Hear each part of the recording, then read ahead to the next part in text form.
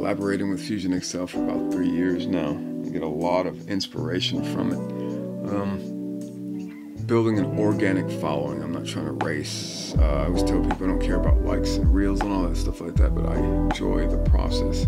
Being around a lot of these fighters, learning their stories, their backgrounds, learning the business, um, and it's given me um, motivation to move around a lot more.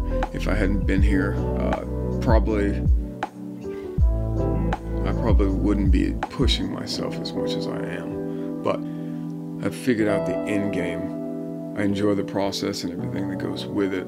Um, but I figured out the direction that I want to go in, and uh, it's already started. Just gets better from here. Good fucking work, guys. Help me clean up if you drop, all right? Good push today. Eh? Like, I, I love the smaller groups, man. I love you guys fucking pushing.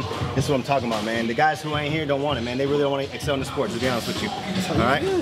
Fusion on three. One, two, three. Fusion!